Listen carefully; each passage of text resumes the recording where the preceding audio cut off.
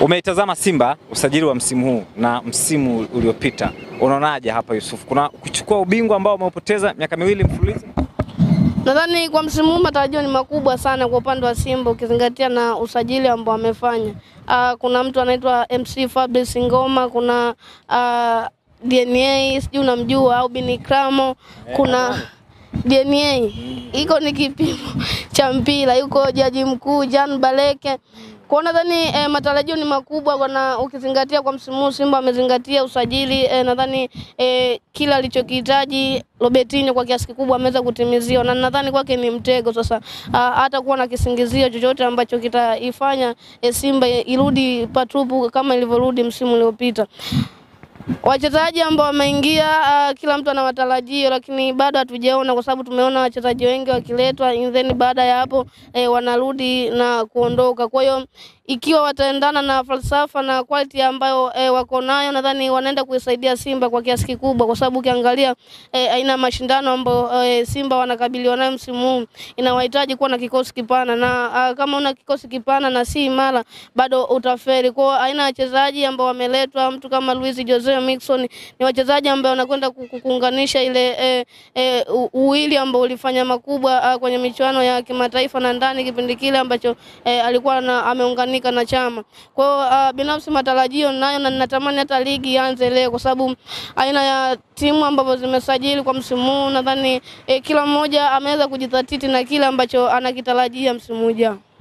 Kwa upande wa Yanga, finalist wa michuano ya kombe la shirikisho barani Afrika wamechukua ubingwa mara mbili mfululizo, lakini bado wameendelea kuboresha kikosi chao, akina Skudu, Maxi, Yao Yao na watu wengine unaona wana, wana, wana, wana, wanataka kufanya kuvunja rekodi nyingine Afrika, lakini pia unaiona Yanga kuchukua na ubingwa tena.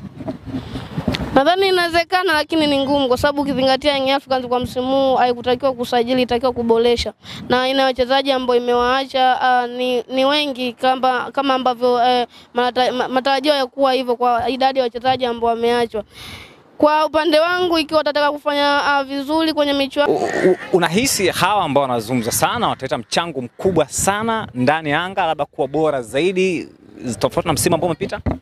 Ya, kwa upande huo ameweza kufanya vizuri kwa sababu ukiangalia wachezaji ambao wametoka ametoka TK Master Priscilla Kisinda ni mchezaji ambaye e, baada ya kuondoka mna ambaye ameulizia sana kuhusu hilo. Kwa hiyo naamini kwa usajili ambao Young Africans unakwenda kusaidia zaidi For me naenda na Max Nzegeli, ni mchezaji ambaye nilimtabiri kabla ya siku ya Mwananchi. Ni mchezaji ambaye anakwenda kuongeza kitu, ni winga lakini anashuka kuja kuchukua mipira, anaweza kucheza eneo la namba kumi kwa siku ya uh, siku ile ya Mwananchi. Eh, kwa dakika chache ambazo nilimuona, nilimuona ni mchezaji ambaye ana huo uwezo wa kukupa hicho kitu ambacho uh, unakihitaji.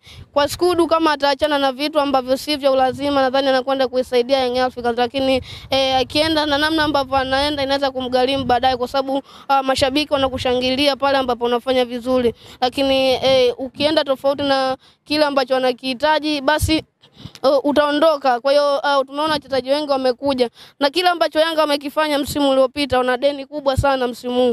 Uh, wameweza kufika hatua nzuri kwenye michuano ya kafu wakachukua uh, ligi uh, wakachukua kombe la Azamu kwa hiyo kwa msimu huu ikiwa wat, uh, wat, watashindwa kutoa kile ambacho walikionyesha inaweza ikawa ngumu sana.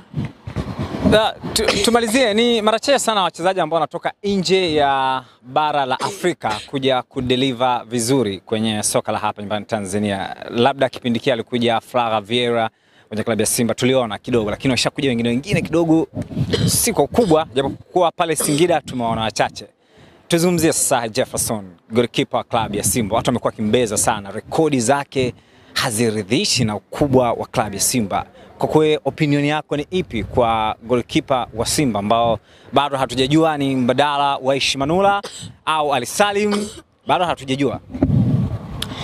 Jefferson Luis ni mchezaji ambaye kweli uh, kila ambacho uh, takwimu zake zinaeleza, si mchezaji ambaye uh, unaweza kumzunguza kwa mkubwa huo, lakini inawezekana kuna kitu ambacho Robertinho amekiona na, na imani na golikipa yule anaweza kukitoa.